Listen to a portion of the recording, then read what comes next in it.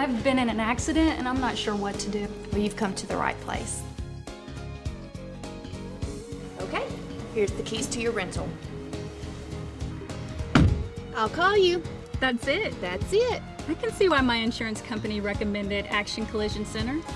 Action Collision Center, right repairs, no accidents.